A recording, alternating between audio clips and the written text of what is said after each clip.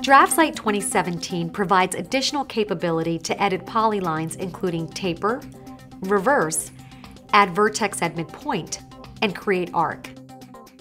To begin, let's look at taper. The taper function allows you to change a polyline so it has a different start and finishing width. On the Home tab, I'll go to the Modify panel and click on the Edit Polyline icon. I'll select the polyline I want to edit and then enter T for the taper function. I am prompted for the start width. I'll use 10, and for an end width, I'll use 2. You'll see the polyline change to reflect its new taper.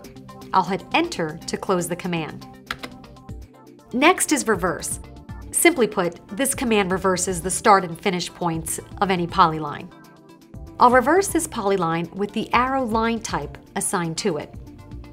To use this command, I'll select Edit Polyline from the panel. Select the polyline I want to edit and type R for reverse at the command window. You'll notice the effect it has on the arrows. Because the start and finish points have reversed, the arrows have also been reversed. I'll hit Enter to close the command.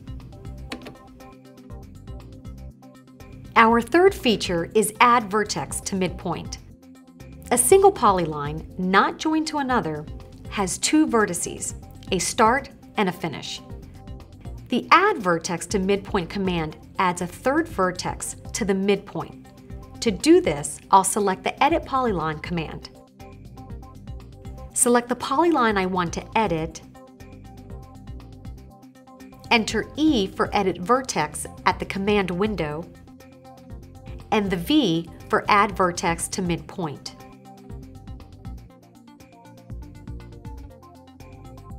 I'll hit Enter to close the command.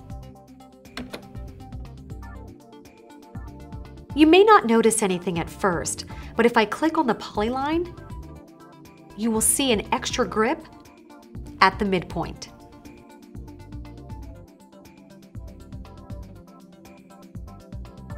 Our final feature is convert to arc slash convert to line.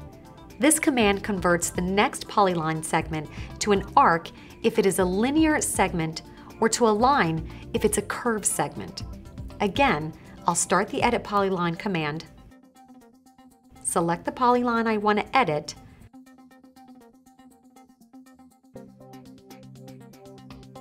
type E for Edit Vertex, then type A to convert a line to an arc.